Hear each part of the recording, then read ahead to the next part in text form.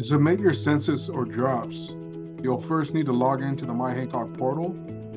From there, you'll scroll to the left side, scroll down under Faculty Tools, and select Rosters and Attendance. From there, you'll select Census and Drop Rosters. You are now on the CRN CRN listing page. From this page, you can select which term you would like to view or select all terms to view all of your rosters available. Use the drop-down menu, which defaults to all terms to change the term. In addition to selecting the terms you wish to view, you can also change the columns around or limit what is visible on your screen. To re reorganize the columns, simply click on a column heading and drag it and drop it into the new location. To remove or add columns, use the drop down on the right hand side of the screen next to the mini Parthenon. Note that title cannot be removed. To drill down on each CRN, you can select the CRN number, which is a hyperlink, and it will provide you with class details. In addition, it will provide other details including the bookstore, the syllabus, enrollment, instructor meeting times, etc.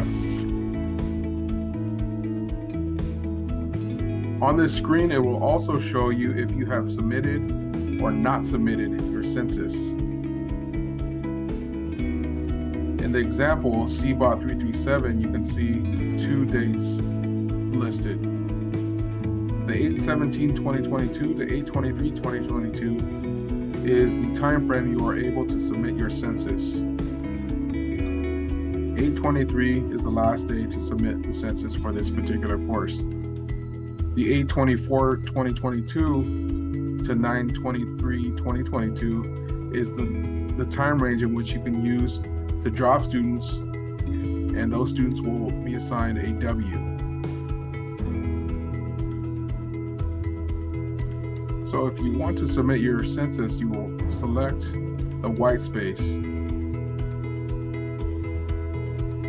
From here, you will see your class roster. In addition, you can also email a student by selecting the student and emailing an individual student, or you can email the entire roster for your CRN. In addition, you can see and toggle between column headings.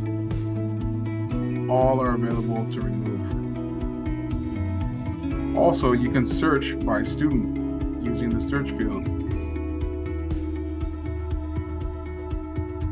Also, in the class roster video, you can also export from this class roster as well. To submit your census, you will select the students or student that needs to be dropped by going to the action column and selecting census faculty drop. You will then press submit. It will give you a preview of the students that you selected and another opportunity to confirm these are the students you wish to drop. From then, you will then select confirm.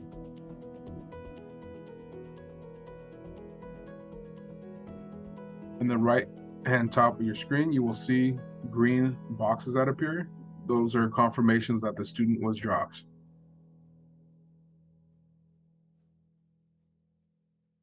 You can then confirm